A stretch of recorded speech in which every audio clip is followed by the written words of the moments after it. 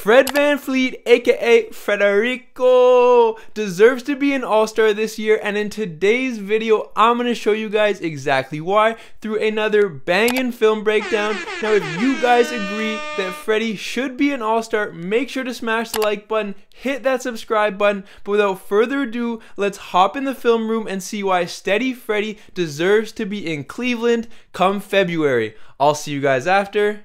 Peace.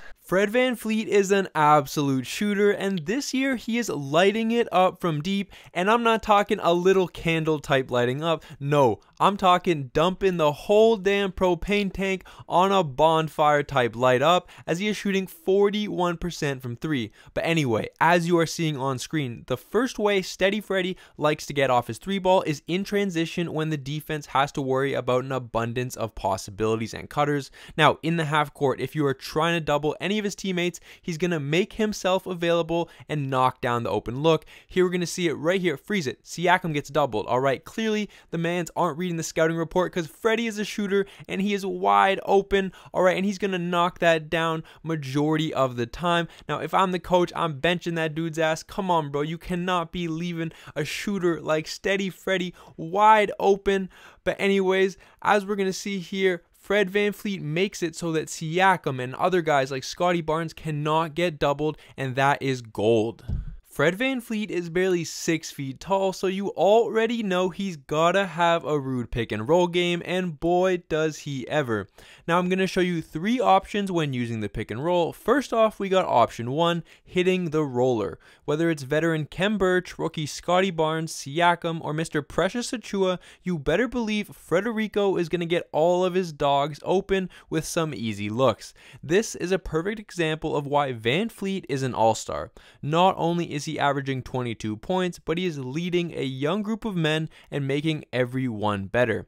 Now, VanVleet's second option in the pick and roll is, of course, a deep three ball. With such a quick release and Steph like range, it becomes almost impossible for a power forward or center to challenge Freddie's shot. The last option is a mid-range jumper, and the math on this one is pretty simple. If the big gets switched onto Freddie, well, he takes his time, laces the ball, and elevates for a buttery soft Jimmy. Next up, if one of your big men gets switched onto Freddie early in the shot clock, there is a 99.9% chance he's gonna turn into Frederico and have a nice dance with a slower and more clumsy big man. Now, of course, this specific segment doesn't really have anything to do with why Freddie is an all-star, but honestly, who doesn't love seeing bigs on skates? I know I do, and to be honest, this is just who Fred is. He's an undersized point guard in a league full of gifted athletes but he's just so damn skilled that it doesn't matter. Now, if you guys haven't yet, make sure to go vote for Fred VanVleet in the East backcourt. Next up, Freddie V has come a long way with this Raptors organization, and it is truly inspiring to see him grow as a young man and become the leader he is today because nothing was ever handed to him. At the age of five, Fred had to deal with the murder of his father, fast tracked to college when he was overlooked by all of his home state colleges. And then in the 2016 draft, he didn't even get picked up by anyone. Instead of hanging his head and calling it quits, Fred joined the Raptors 905 in the G League, busted his ass off, and the rest is history. The six foot guard from Rockford, Illinois, is now an NBA champion, soon to be All Star, and leading his team with over six and a half assists per game. And oh, yeah, he signed an $85 million deal that's going to change his entire family's life forever. The most underrated aspect of VanVleet's game is hands down his defense. Now, for all you Raptors fans out there, of course, you already know this, but I'm talking to all you folks out there that don't watch the Raptors on a nightly basis. Now, you might be thinking, well, Wiseman, how the hell is a six foot guard going to be nice on defense? Well, I'm trying to show you, so just hang tight. Now, just like CP3 and Kyle Lowry, Freddie has super quick hands when it comes to the defensive end, and his stats prove it with over one and a half steals per night, which puts him amongst the top 10 in the entire league. Now, lastly, his hometown is called Rockford. All right, now this dude is an absolute rock. If you try and post him up, it's not gonna work.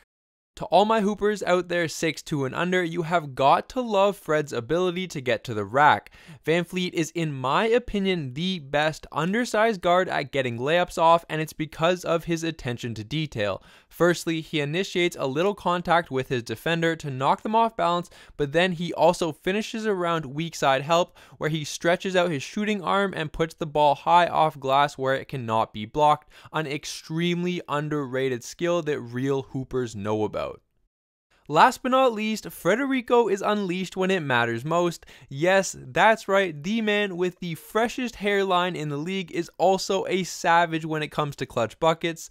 Just last week against the Utah Jazz, the man scored 17 points straight with 24 total in the quarter and a triple double to leave his team back from a monster deficit. If that isn't worthy of an all star appearance within itself, then I don't know what is.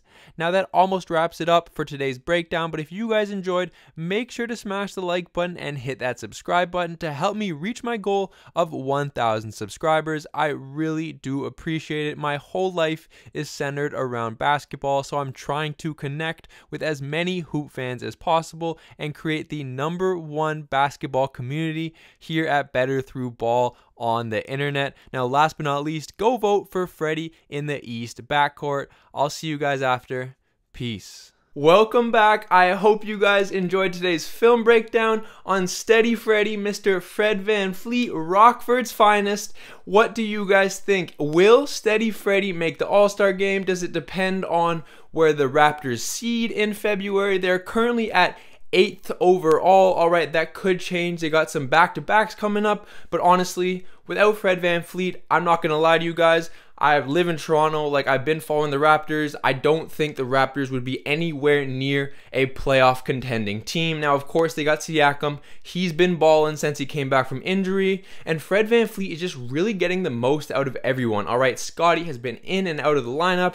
However, the consistent theme has been Fred VanVleet's leadership. And honestly, I got to show this guy love because the media does not give the Raptors enough attention. And Fred VanVleet, on God, he's been balling. All right, 22, 5, 6.5 assists, shooting 41% from three with the second most threes attempted per game. Like this guy right now, I'm not saying he's better than Curry, but he is shooting better than Steph Curry. So get this guy in the All Star game. Share this video with your boys, hype them up. All right, let's get Freddie into the All Star game. My name is Wiseman. This has been Better Through Ball. I'll see you guys after. Oh, yeah, make sure to like this video, subscribe, try to make Better Through Ball the number one basketball fan page on the internet. But, anyways, I'll see you guys in the next one.